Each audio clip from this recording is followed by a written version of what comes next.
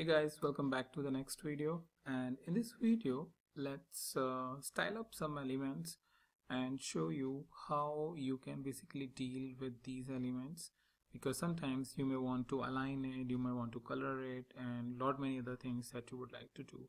So I just want to give you a quick introduction about how you can do this and definitely that will open up the doors for you because you can just go in and explore. I have already told you how you can take help in one of the previous video to completely see what are all the parameters available. So let me show you some initial parameters. Alright, so that's what we have created here. Let me just close it and interrupt the kernel. Um, so we have created this HTML h1 uh, tag and uh, we have given this as uh, hello dash. So let's assign one of the optional parameter which is children to it so that uh, it is properly uh, picking up the values when we are specifying the next parameter though it is optional. So hello dash and I will just create some more space comma um, and then specify the style parameter within the curly brackets because that has to be a dictionary.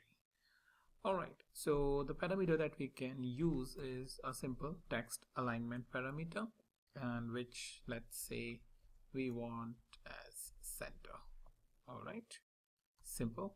And let's just take another one. Maybe we want to color it uh, into something. So let's take the color maybe any hexadecimal color. So hash 456 f b b maybe that's the color we want. I don't know what color it is. I'm just taking it randomly.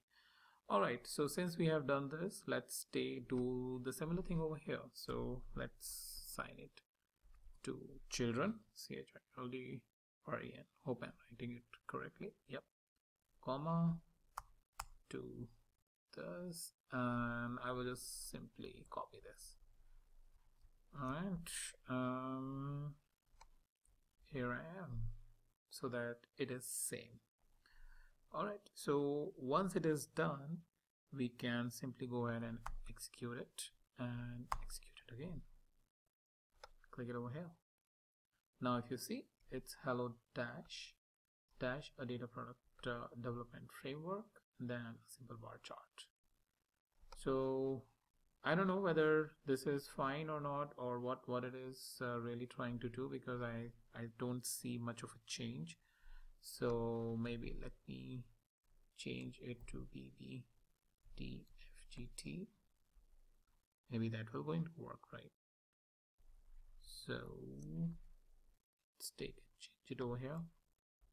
Just experimenting with it. You can you can just let me just first of all interrupt the kernel because this was not executed um, again yeah doing nothing much but uh, just simply uh, giving me the black color. So, so, these kind of things we can basically manage uh, with the use of help. Alright just to make sure that uh, we are doing it right uh, let's take uh, red hexadecimal code okay so this is the code let's take this. I hope it should work. Maybe because of the I'm using the capital letters. I'm, I may be doing the mistake there. So since it is running let me interrupt it again. Um, execute execute and see it. All right perfect. That means this is working. So if, if you are like me if you are clueless about uh, hexadecimal code uh, which most of the times we are because we we don't know that you can use this. I think there are some sites also which can convert the RGB to hexadecimal or like I just searched that what is that color code? You can just give it. So that's how very quickly and easily you can style your text. Alright that's pretty much it for you in this video. And I'll meet you in the new video new topic